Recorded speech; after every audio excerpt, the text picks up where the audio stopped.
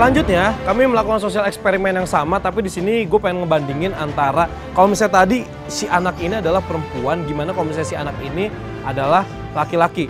Nah, di sini kasusnya agak sedikit kita bedain permasalahannya, yaitu si anak ini pengen minta uang kepada orang tuanya. Yang sama, orang tuanya ini adalah seorang pedagang gorengan di situ.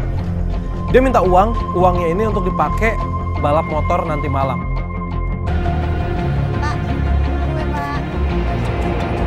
Baru pak.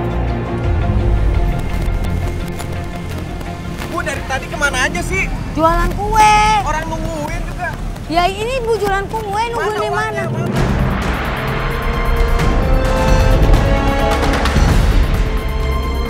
Dari tadi ditungguin.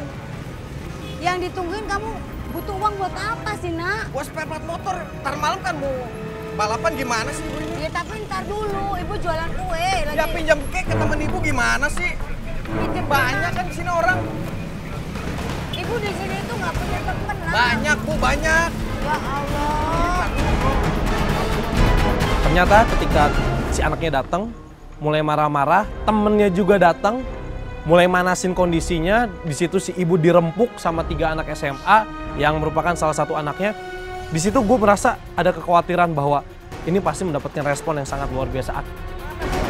Ini ibu lagi jualan nak. Ya Allah. Pak kue pak. Ini kan bapak-bapak banyak.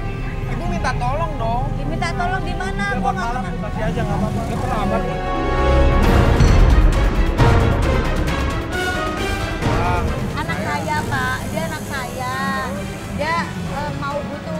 Ya minta pokok, uang. pokoknya Iya, Sek, sekarang saya mau minta uang. Dari Iya. tadi saya nungguin pak. Ya, tapi kan ibu masih jualan. Ibu saya udah janji sama saya.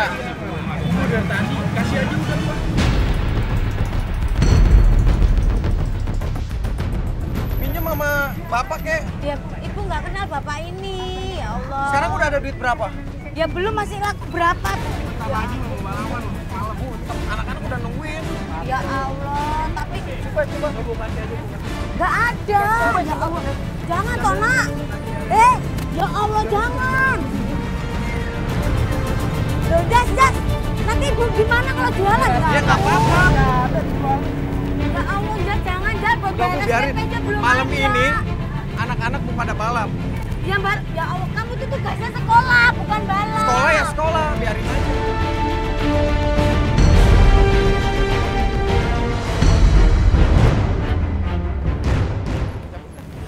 Biarin aja. tawarin tuh. Bro, Sampai akhirnya gue tunggu dan ternyata kita tidak mendapatkan respon yang sesuai ekspektasi. Di situ gue sedikit agak kecewa ya maksudnya. Mereka laki-laki semua tapi mereka nggak ada yang mau melerai, mereka tidak ada yang mau eh, mencoba menasehati anak-anak itu. Gue juga nggak tahu alasannya kenapa. Tapi ya gue coba ngomong sama direktur gue, gue bilang ya udah deh kita coba bungkus dulu. Ini mungkin di sini kita nggak dapetin, coba kita cari tempat lain. Akhirnya direktur gue setuju, akhirnya kita bungkus, kita cabut, kita coba cari titik selanjutnya.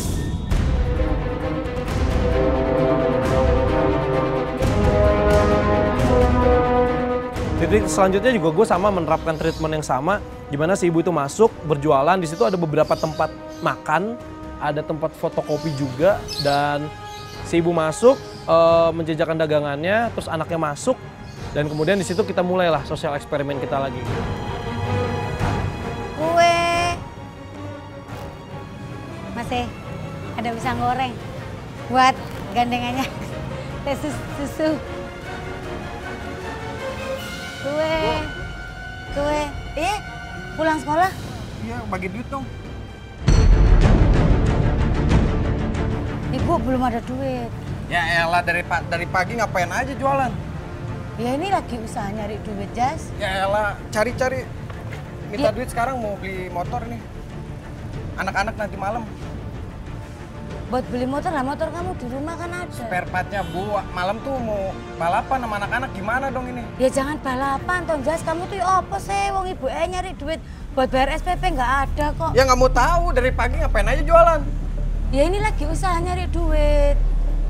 Pokoknya hari ini Kue mas. Minta duit buat balapan nih ntar malam. Ibu belum ada duit, Jas. Nanti kalau ada, Ya harus ada dong pinjem kayak ke temen.